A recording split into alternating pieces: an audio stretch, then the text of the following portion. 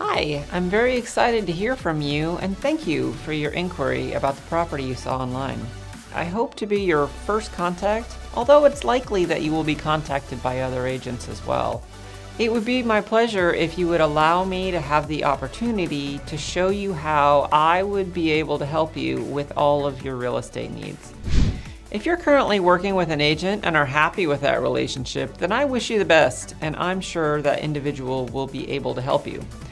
But on the other hand, if you have not signed a buyer agency agreement and would still like to meet with me, that would be great. When we meet, I'll explain my role as a buyer's agent and provide you with important information about the home you have asked to see. It is my goal to walk you through the home buying process in a friendly and informative manner, and I strive to be available and responsive to your needs.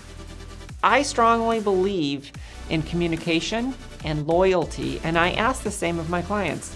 If you have something to say, let me know because that is important to me too.